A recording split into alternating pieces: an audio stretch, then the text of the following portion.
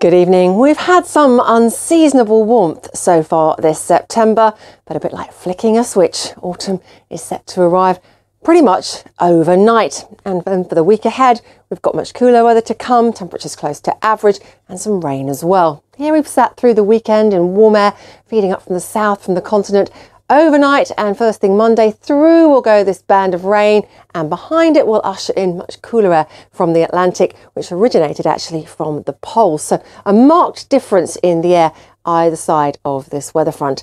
For western areas of the UK, some torrential rain overnight tonight. The big contrast in the air mass either side of the front uh, means the front itself is a bit of a beast, and then it will make its way eastwards in time for the rush hour and the school run on Monday morning. And not just rain, some pretty squally winds as well.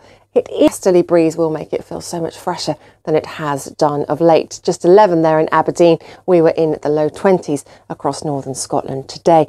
And then once that front is through, it opens the gateway basically for further systems to come swinging in from the Atlantic, wet and windy across the UK on Tuesday. Things perhaps taking a pause in terms of the rainfall on Wednesday. But basically, looking at our outlook, autumn is definitely here.